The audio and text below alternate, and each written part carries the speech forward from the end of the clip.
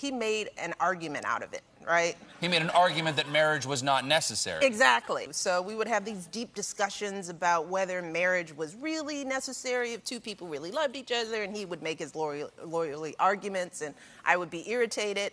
And that's how he decided to propose to me by starting that argument at dinner.